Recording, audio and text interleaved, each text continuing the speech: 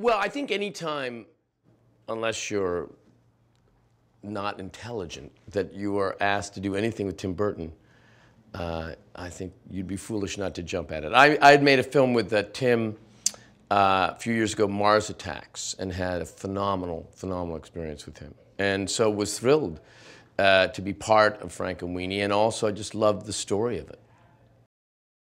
Victor is a kid who, like many um, people in their life, have tragically seen their beloved pet uh, get hit by a car or, or, you know, pass on. And in class, his teacher um, puts electricity uh, on a dead frog to show how the muscles can still uh, respond, and, and Victor gets an idea, and ultimately he becomes, therefore, although not called it, Dr. Frankenstein. And he then hooks up a thing at night. He digs up his dead dog. He hooks up electrodes and gets the lightning to zap him, and and uh, and suddenly Sparky is back.